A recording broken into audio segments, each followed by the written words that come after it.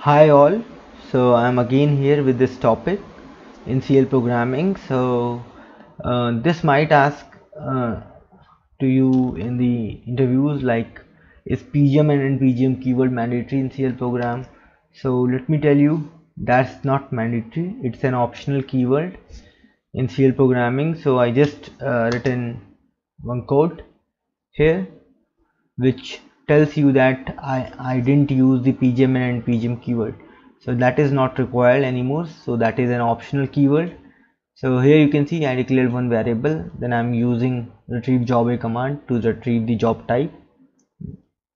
Then I'm sending the message based upon the job type value. If 0 then in bad job. If it's 1 then interactive job.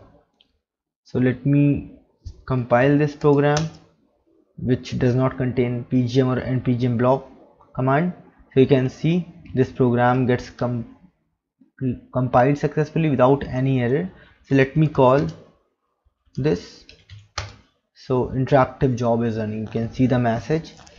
So this way you can see that this pgm and endpgm keyword is optional. It's not mandatory in cl program so that's all in this video. Thank you and have a nice time